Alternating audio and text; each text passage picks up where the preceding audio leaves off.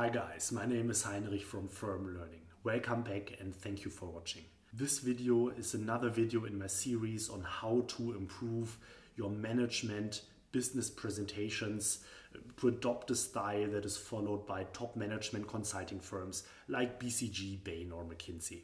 This video focuses on slide blueprints. Very frequently you are in a situation where in a short amount of time you need to produce a significant number of PowerPoint pages of slides for a presentation. In these situations what is just crucial is that you do not need to start for every single page to ask yourself, well, how do I put the information on paper? What structure do I use? How exactly do I present it? If you do that, you will take hours and hours to even create basic PowerPoint presentations. What's crucial and what people in consulting do is they use slide blueprints. There are certain structures that they can adopt and just reuse, and where they know is that if I present the information of this specific way, then it will be at least good enough. Everybody will clearly understand what I'm going to say. Maybe it's not the most fancy, most beautiful page, but it's going to meet professional standards and I can bring my information across. And as you maybe know, frequently in consulting, you're in a situation where literally overnight you need to create presentations of 10, 20, 30 pages. And here it's just crucial that you're in a position to be able to produce this content quickly and to a high level of quality. And without slide blueprints in this way, this is just impossible. As the other videos on creating PowerPoint presentations, this video is an excerpt on my course. You can find a link to that in the video description if you would like to check it out. And please have a look at the reviews of the other students who already took it uh, if you ask yourself if this is actually the right thing for you. But now without further ado, let's dive into it. Let's learn about slide blueprints. I trust that this is really going to be helpful in improving your production flow in the future. So before we jump into some very specific slide blueprints, let me just talk about some general principles. And first I'd like to talk about things to avoid, because then you know that these are things that you will definitely not use on your pages. And then also some key principles to follow. These are things that you should look after because they will help your slide production process. So first some things to avoid. So and maybe also just as uh, just to start, I mean these are just kind of rule of thumbs. So it might be that in some cases it, it does make sense and it is okay to do these things. Just from my experience that in most of the cases you do not want to do this, okay? So the first point to avoid are extensive color fields, especially behind text. And a color field would be something like this, so kind of a box that is filled with a color. And what some people like to do is they like to take these kind of boxes and put them below the text. So imagine this kind of list of bullets would have such a blue box behind them. And, and, and some people do that a lot and they feel like this somehow looks good or whatever. And I mean, I, I don't want to argue with you whether it looks good or not, because I guess this is subjective. But uh, I, I think there's there's at least two strong reasons why you shouldn't do that. So first, if kind of you have it on, on a beamer, right, the presentation, maybe the beamer isn't so good or whatever, so the kind of projector of the presentation, it just might not be uh, really good readable, right? So if you have kind of a color below or behind your text, the contrast isn't really good. So it just kind of makes it more difficult for the reader to read. And the second reason is, and where this kind of becomes even more relevant, if you print it out. And what you will see very often is that these presentations are being printed out in black and white.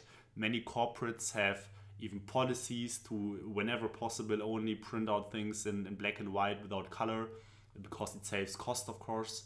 And um, even though maybe on your computer, if you have it with a color, you know, in, in the text box behind it, maybe then it looks good and it looks readable. It looks very readable, but it's often very hard to kind of know how it will look like if you print it out on a black and white kind of color scheme, especially maybe if the printer isn't really good. And then you will easily find yourself in a situation where the text on the bullets is not really very readable anymore, right? So avoid extensive color fields. This is my kind of recommendation from my experience, having done this for many, many years. Avoid them they add no value to your presentation and there are lots of risks in terms of readability if you do that. And I mean, just kind of to contrast it to what to what I did here. Of course, you could argue, well, then you know, what did you do here on the left, right? Because this is also a color field, And what I do like to use color fields like that for are for kind of titles, right? Or if you would like to highlight something. And you know, you could say this is kind of the title, and this is why this is highlighted, and then this is kind of the general text field. And so I would say this is kind of a bit of a gray area, I think, you know, because it's usually only little text that you have here and just kind of really adds meaning because this highlight really means that kind of on a hierarchy level, this stands above the other text field. I think you can justify it this way. But probably you could easily also have, you know, done this without this text field, just having bolded this or whatever. So just think about, you know, if it's really required in any given instance that you want to do, and if in doubt, leave it out don't do it and you will usually be better. Another general example that I can just really urge you not to do is the usage of shadows and 3D elements and probably especially 3D elements. I mean, some light shadows can sometimes be okay. But this is also the idea that, you know, some people just think that, you know, the presentation, you know, to make it good, you just need to make it look fancy. And what does it mean to look make it look fancy? Well, you want to add as much effects and so on that are somehow available in PowerPoint to all the different objects as possible. And the problem is that um, usually this doesn't really make it look fancy. It just looks uh, stupid, right? I mean, most of the cases it looks better if you don't apply it than if you do apply it. And indeed, in a professional context, just kind of considered bad style. Just kind of consider probably even unprofessional to create a presentation which is full of shadows and full of 3D elements. And probably the reason why this is considered this way is because it kind of gives the impression that you were more, more concerned about adding some kind of weird graphic effects to a presentation than about focusing on you know the content and the things that really matter. Um, so I mean, in general, you probably, I mean, you might sometimes see a shadow, but you almost never will see one of these kind of strange PowerPoint 3D elements or whatever your presentation program is able to do on the page. So just in general, avoid it, and you will be fine off. And in a very similar direction goes uh, the thing of smart arts. So this is a PowerPoint specific functionality where PowerPoint allows you to create um, yeah, some kind of frameworks, some kind of process bars, and all kinds of different variations of that on the page. And it's supposed to help you to uh, kind of create these kind of frameworks on your page more easily than you would have to. Uh, then you know you, you would be able to create them by yourself if you just kind of put it together yourself uh, from all the individual elements that they consist of. Um, but just from my experiences, again, is something that isn't really used in a professional context. And the reason why is I mean, if you use these kind of things, you will notice just that it's just extremely difficult to really make them look nice, nice and clean and professional. And usually the font sizes are all over the place. There will be like multiple font sizes in it. The proportions of the text to the elements doesn't really look good. I mean, it's just almost impossible to kind of customize it and make it look good, right? And so basically what everybody's doing is I mean, the, the, the visuals itself are, of course, okay, right? It's totally fine to have some kind of process bar logic or whatever on your page. But usually, what you would do is you would just create it yourself. You wouldn't use these pre made templates. So basically, you would go to the icon uh, section of PowerPoint and then you would just uh, kind of drag and drop the individual elements that you need. And then you would just create whatever you need yourself. And then you have full flexibility in adding, editing it in a proper way. Another point is unnecessary background images. So some people just like to kind of put some random images somewhere on the page because they think it looks cool and fancy and whatever. I mean, this is the same and it goes back to all the things that I just talked you. I mean, don't do it, right? Usually it doesn't add value. Of course, if you have an image that does add value, that is relevant to the presentation, then of course add it. But usually it's just supposed to be some kind of decoration and then it's just distracting from the things that you really want to say and that really are relevant. So don't do this, right? It just doesn't make sense. Another point is multiple font sizes on one page. And what just as a general rule you want to avoid is to having multiple font sizes on the same page, with the exception being the action title, right? So the action title, it's fine if it's a bit larger, but usually you never want to have different font sizes on one page because it really looks bad. I mean, the look and feel of your slides is much better. Excuse me. The look and feel of your slides is much better if all the font sizes look the same. And if you look kind of the presentation that I prepared here throughout this course, I at least hope that I never used multiple font sizes on one page. So just really try to avoid it. And in most consulting firms, it's actually a really hard rule. So you just don't do it. It's often tempting because sometimes you know you just want to fit this in on the page, and there just isn't the space. And you know if you uh, if, if you kind of just put this one box in a smaller font size, and everything would fit in nicely. I mean, of course, it's a trade-off, and uh, sometimes it saves you time. So, you know, if you want to do this, then then fine. You know, I'm not going to stop you. But in general, you know, if you just really want to make sure that your presentation looks nice and clean and professional, don't do it. So, what are the things that you should do? What are the principles that you should follow? And here are two principles that I would like to kind of to quickly present to you. And the first is every page is a table and every page speaks for itself. And on the first one, I do not want to go into too much detail right now because this is uh, what we will kind of focus on in detail in the next, I think, two or so lectures. And uh, the concept, but just to, to quickly introduce you to it, is that just in order to make a good table, just always think about, sorry, in order to make a good page, just always think about the page as being a table, right? And for instance, on this example, you could th think of this page as being a table with two columns this is the first column and this is the second column. So this is some kind of a, a title column where you kind of introduce uh, and, and, name the things that you want to talk about.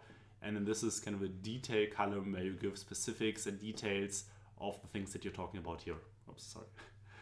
And so, but uh, let me just leave you at, at this because we will go into detail kind of on the next uh, on the next couple of lectures on this. And so let me just spend some words on the second principle. Every page speaks for itself. And maybe you remember the section or the lecture that we had on diagrams. And I think there was one lecture called Every Chart Speaks for Itself. And the concept here is the very same. And just to kind of give you an anecdote, um, when I was a young consultant, I had a partner and he tried to explain to me exactly this, right? Every page speaks for itself. And what he told me is uh, uh, kind of the following instance. He told me, you know, Heinrich, imagine you are working uh, in a client room and for whatever reason you are having a presentation there and then you left one of the pages of the presentation in the room accidentally. Of course, this is something that should never happen due to a whole lot of reasons. Uh, probably the most important one is confidentiality. But let's just imagine that you left one page in the client room and now what you want to achieve, what you want to aspire to whenever you create a presentation. That basically a, a random person could grab this one page that you left, could look at it, could understand what it means without anybody being there and would say, yeah, okay, you know, this is this is a solid piece of work. This is a good page, right? And and so what it means is probably two things. First, that you always make sure that even though of course content is the most important thing, the things that you actually write on it, you always make sure that a certain minimum quality of design is met, right? So, I mean, your pages always need to look well aligned, need to look decent, and so on. But then, regarding the content, that you make sure that it is self contained in the way that everybody can understand the most important messages of the slide just by reading it itself without anybody needing to explain it to him. So every page speaks for itself is an important, very important concept concept within kind of management presentations and, and, and top management kind of areas. You know, when you talk with CEOs, he wants to be able to understand what you want to say himself without you needing to be there. So follow these two principles and your slide creation process will be much more straightforward. And the next kind of topic now that I really want to detail, as I just told you, is every page is a table. And this is now the blueprint aspect of this, right? I mean, if you understand this, you have a good blueprint of all the pages. So let's dive into this right now.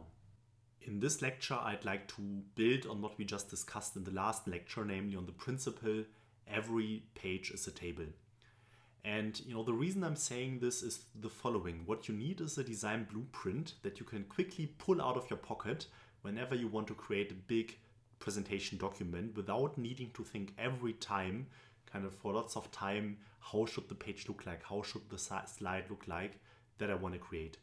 And this basic blueprint means that you should always think of every single page that you create as a table. And what i would like to show you now on the next kind of slides that i will go through with you are a couple of examples of how pages look like And you will always see this pattern that in the end, every page is just a table, right? So you always have just to ask yourself, what is the information that I have? And how can I, can I arrange it in a way that it fits nicely into a table? So let's start with a simple text table. This is a very simple example that we see right here. And I hope that you can recognize this table format that you see here. Basically, this thing has two columns, measures and rationale, and then there are a couple of rows. And you see every row in this kind of example here, it represents an area, location, here some kind of a customer segment and so on. So let's not focus too much on the on the contents of uh, what is shown here, but just rather on the structure. And this is something that you will see quite frequently. You have some kind of a, a title column like that, and then you have some details provided by the, the title or on the title that was introduced here. Of course, this page is quite uh, wordy, as we would say, right? So it has lots of text. Probably it's a bit too wordy to put it in your main desk uh, deck. This would be more something like you would have in your backup. But this is kind of just a basic example how you can arrange your text in the table format. Now let's look at something similar, maybe a bit more advanced, maybe a bit more complex.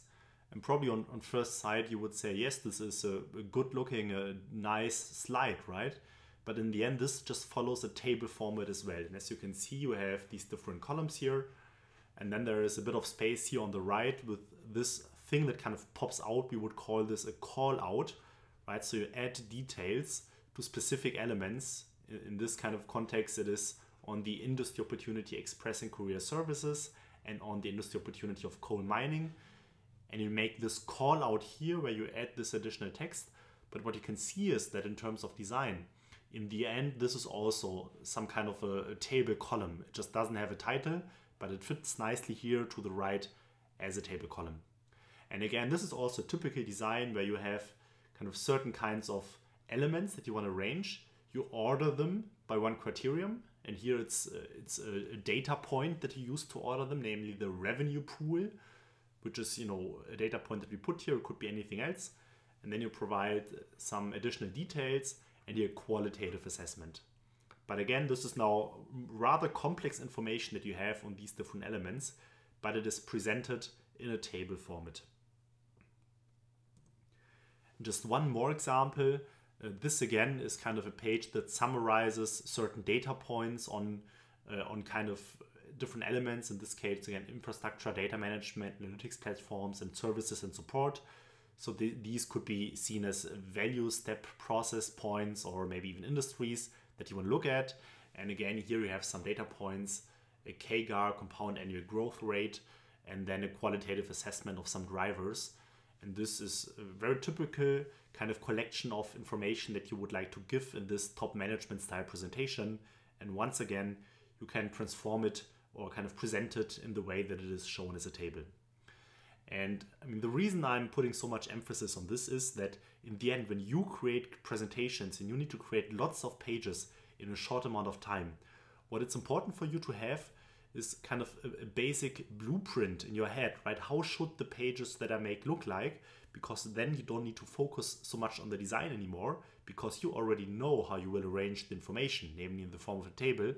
And then you can kind of the limited time that you have spend much more effectively uh, by just kind of focusing on the content and then the design just follows uh, this table format that you can just use as a blueprint for all your pages. Building on that, I would like to show you a slightly more kind of complicated, a bit more advanced page that is still created following the exact same principle. So this is a page, and just to guide you through the logic, right? This is a page showing the industry market volume of different industries and then kind of identifying opportunities that this company isn't currently serving. So it looks at the total industry, these 922 million. It looks at what part of it is already served by the company we're looking at it looks at kind of a segment of the industry which we cannot serve at the moment because we lack a relevant product offering. And then we identify an opportunity that we currently do not serve but actually have the relevant offering. So this is probably a, a bit more advanced logic. And then what you see here as well is that there's something like a double click on this field, right? So this nicely fits into the double click principle that we talked about earlier. So what is happening here is we basically make a, a virtual double click on this potential opportunities row. And then it expands here on the right where we detail the five industries that we see as potential opportunities here, then provide a bit more information about uh, what we think, excuse me, what we think are the next steps here that we need to look into. But coming back to the principle, every page is a table. I mean, in this rather complex design, you still see that it's basically just a page with exactly two columns. First, the industry analysis, and then this detail column.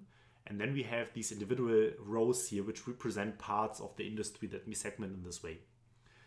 And now by looking at this bubble, which says by the legend here on the top number of industries, so this represents the number of different industries that we see into these categories. Um, I mean, this again can be seen as another column of the table as well, right? It doesn't have a header in the sense here that something's uh, stated here, but the way it is put here is still a column. And it's put beside, of course, or within the row that represents the respective category where we see this number of industries to fit. So again, the principle, um, every page is a table and you can see that you can use uh, this kind of framework to expand on one of the row elements that you have if you want to provide some details. And this is often helpful if you want to kind of provide details on the most important row. And this probably would be a good example because the row of the potential opportunities is indeed the most important one of this page. It is the page, it is the, the row that you want, really want to provide the details on. But you can also use it if you kind of in a bit more arbitrary or selective way, you have a list of different elements that you talk about. And then maybe you just want to go into detail into one of these elements, maybe also because you have the most interesting things to show for this specific element.